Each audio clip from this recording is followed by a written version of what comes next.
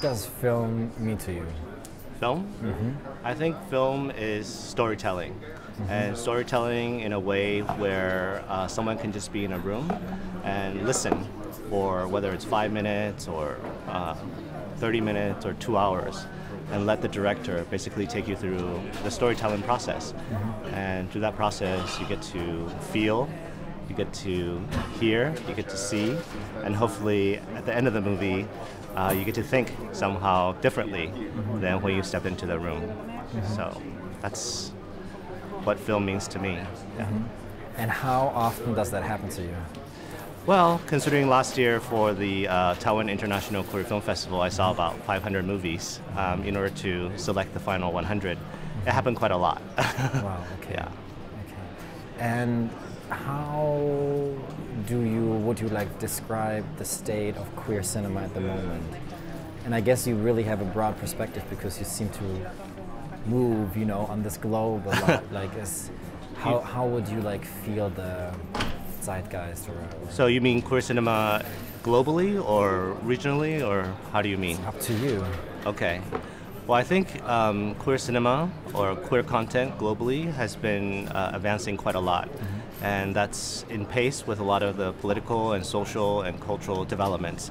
For example, now there are many countries that allow gays to get married, um, and there's more and more sort of respect of um, rights for the LGBT community, even in countries that previously were quite um, religious or intolerant. And so I think that flowering has also, at the same time, um, created uh, this kind of renaissance in LGBT content. Uh, we can of course look at Hollywood and see whether it's on TV or it's in cinema. There's just a lot of variety of um, LGBT main characters or sub characters or um, subplot lines that involve sort of like diversity of the community.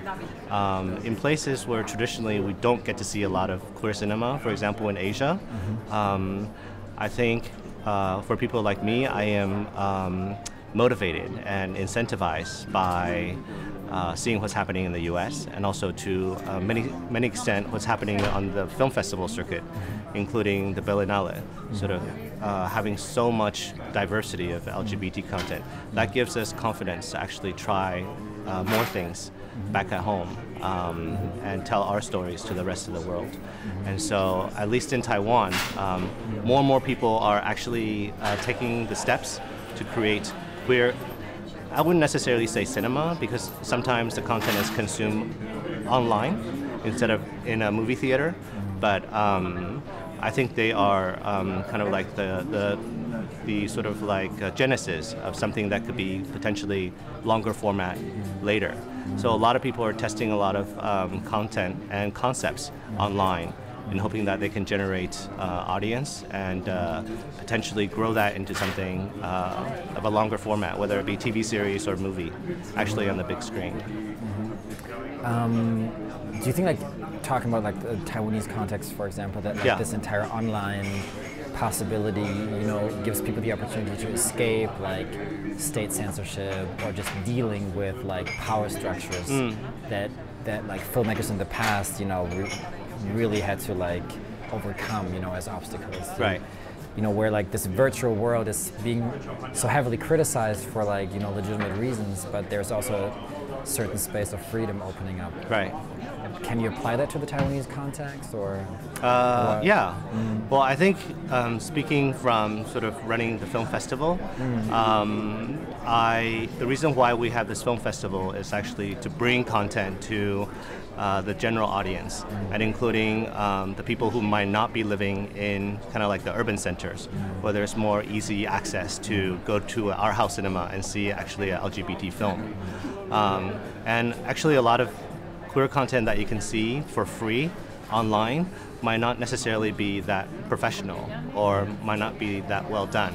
And so I think sort of uh, the film festival and the films that we try and we produce also shorts, um, LGBT shorts, um, address that middle section.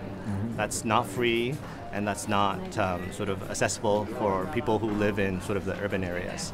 Um, and the business model there is not necessarily one where uh, people can see it for free, or else we wouldn't really be able to have a sustainable sort of film festival.